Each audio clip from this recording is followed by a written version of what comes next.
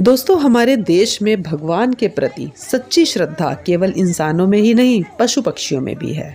भगवान श्री कृष्ण की नगरी द्वारिका के इतिहास में शायद ये पहला मौका है जब द्वारिकाधीश मंदिर के दरवाजे आधी रात को खोले गए। जी हाँ दोस्तों, बुधवार की रात यहाँ कुछ ऐसा ही हुआ। मंदिर के पट किसी वीआईपी के लिए नहीं, बल्कि 25 गायों के लिए खोले गए और ये गाय अपने मालिक के साथ 450 किलोमीटर की पैदल यात्रा करके कक्ष से द्वारिका पहुँची थी। दरअसल कक्ष में रहने वाले महादेव देसाई की गौशाला की 25 गाय करीब दो महीने पहले लंपी वायरस से ग्रस्त हो गई थी। इस दौरान पूरे सौराष्ट्र में लंपी वायरस से गायों के मरने का सिलसिला जारी था। इसी बीच महादेव ने भगवान द्वारिकाधीश से मन्नत मांगी कि अगर उनकी गाय ठीक हो गई तो वे इन सब गायों के साथ आपके दर्शन करने जाएँगे।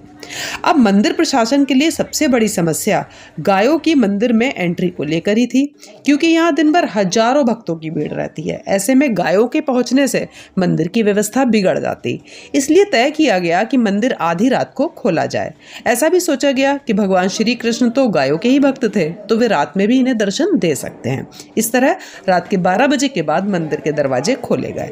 द्वारिका पहुंचकर गायों ने सबसे पहले भगवान द्वारिकाधीश के दर्शन करने के बाद मंदिर की परिक्रमा भी की।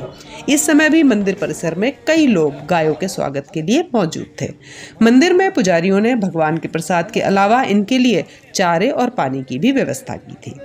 महादेव बताते हैं कि भगवान द्वारिकाधीश पर सब कुछ छोड़कर मैं गायों के इलाज में लग गया। कुछ दिन बाद ही गायें ठीक होने लगी और करीब 20 दिन बाद सभी 25 गाय पूरी तरह स्वस्थ हो गईं। और इतना ही नहीं, गौशाला की दूसरी गायों में भी लंपी वायरस का संक्रमण नहीं फैला। इनके पूरी तरह स्वस्थ हो जाने के बाद मैं इन्हें लेकर पैदल ही कक्ष से द्वारका के लिए रवाना हो गया। तो दोस्तों, इस प्रकार महादेव भाई 25 गायों और पाँच ग्वालों के साथ 17 दिन की दूरी तय करके द्वारिकाधीश मंदिर पहुँचे पैदल। और यह दृश्य देखकर द्वारिका नगरी भावुक हो उठी। भगवान द्वारिकाधीश को ग्वाल कहा जाता है, क्योंकि भगवान कृष्ण गायों के बहुत प्रिय थे और हमेशा गायों के बीच देखे जाते थे। तो स्वाभाविक है कि गायों में लंपी वायरस नामक भयानक रोग होने पर भगवान श्री कृष्ण भी निराश हुए होंगे।